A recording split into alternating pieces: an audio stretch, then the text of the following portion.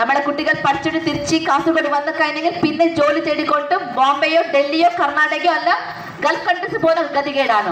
ഇതാണോ കേരളത്തിന്റെ മോഡൽ ഇതാണോ കേരള സർക്കാരത്തിന്റെ പാവപ്പെട്ടവരെ പാർട്ടി? ഞാൻ ഒന്ന് ചോദിക്കട്ടെ. ഇവർക്ക് വികസനം കൊണ്ടുവരാൻ സാധിക്കുന്നില്ലേ? സാധിക്കുന്നില്ലെങ്കിൽ രാജ്യം വെച്ചിട്ട് പോക്കളണം അതെ നരേന്ദ്രമോദിജി വന്ന ശേഷമാണ് പറഞ്ഞ കാര്യങ്ങൾ നമ്മൾ കാണിച്ചു കൊടുത്തത്. നമുക്ക് നിരവധി ഡെവലപ്മെന്റ്സ് കൊണ്ടുവന്നിട്ടുള്ളതാണ്. അതേപോലെ സ്ഥാനാർത്ഥിയുടെ കാൻഡിഡേറ്റിന് ഇവിടെ സംസാരിക്കാൻ പറ്റുന്നില്ലെങ്കിൽ തോന്നിയ പോലെ വഴിയോ പോകാൻ ഏതിലിരിക്കുന്ന ആളെ ചീത്ത വിളിക്കാം അവർ അമ്മയ്ക്ക് വിളിക്കാം. ഇതൊക്കെ ഇതാ എല്ലാ ജനാധിപത്യ രാഷ്ട്രമാണ്. എല്ലാവർക്കും വോട്ട് ചോദിക്കാം. എല്ലാവർക്കും തെരഞ്ഞെടുപ്പിൽ കാര്യം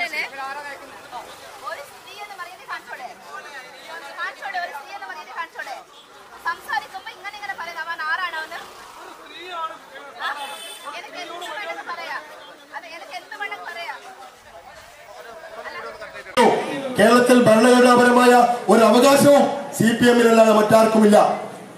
ഈ ജനാധിപത്യ ധ്വംസനത്തിനെതിരെ ഈ തെരഞ്ഞെടുപ്പ് റാലിയെ തടസ്സപ്പെടുത്തിയ ആ തസ്ബലിനെതിരെ നിയമ നടപടി സ്വീകരിച്ചില്ലെങ്കിൽ ഞങ്ങൾ ഏതറ്റ ഗവൺമെന്റ് അയച്ച നിങ്ങൾ പിന്നെ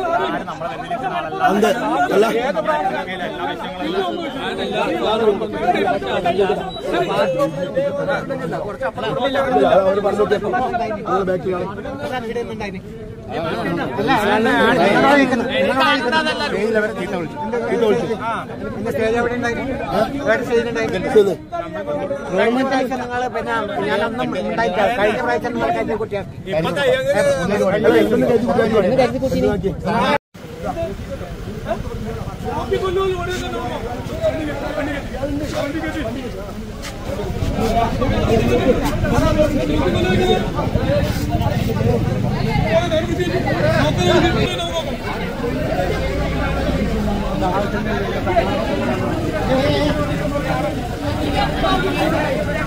ഇന്ന് എന്റെ ഇലക്ഷൻ ക്യാമ്പയിന്റെ ഭാഗമായിട്ട് തൃക്കരിപ്പുരം മണ്ഡലത്തിൽ എത്തിയിട്ടുണ്ടായി.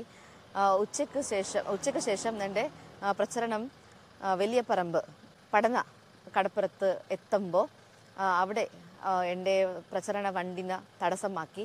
ഇവിടെ നിർത്താൻ പാടില്ല എന്ന് പറഞ്ഞു. എന്നിട്ട് നമ്മൾ അവിടെ നിർത്തിട്ട് റോഡിൽ നിർത്തിയിട്ടായിട്ട് എന്റെ പ്രസംഗം തൊട്ടിട്ടാകുമ്പോൾ എന്റെ പ്രസ പ്രസംഗത്തിന്റെ ഇടയിൽ എന്റെ പിയോട് പറഞ്ഞു ഇവളോട് ഇവളെ തന്തയോട് പോയിട്ട് പറ. ഇവളെ കൂട്ടിക്കൊണ്ട് പോടിയെന്ന് ഒരു അവ്യച്ച ശബ്ദ യൂസാക്കി. എന്നെ കണ്ടിട്ടായിട്ട് എന്റെ പറഞ്ഞത് നിന്റെ പ്രസംഗം നിർത്തിടി എന്ന് പറഞ്ഞു. ഇത് എന്റെ മാനസികമായിട്ട് എന്നെ വിഷമമായിട്ടുണ്ട്. ഒരു സ്ത്രീക്ക് ഇവരൊന്നും റെസ്പെക്ട് കൊടുക്കാത്ത ഒരു സ്ത്രീക്ക് ഒരു അപമാനം ചെയ്തിട്ടുള്ളതാണ്. ഞാനിപ്പോൾ ഇവിടെ വന്നിട്ടായിട്ട് എഫ് ഐ ആർ ഫയൽ ചെയ്തിട്ടുണ്ട്.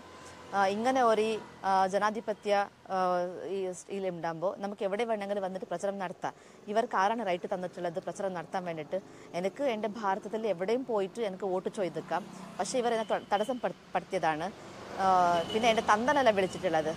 അതാണ് എനിക്ക് വിഷമമായിട്ടുള്ളത്. ഇത് എത്ര പെട്ടെന്ന് നടപടി എടുക്കണമെന്ന് ഞാൻ അവരോട് പോലീസിനോട് അഭ്യർത്ഥിച്ചിട്ടുണ്ട്.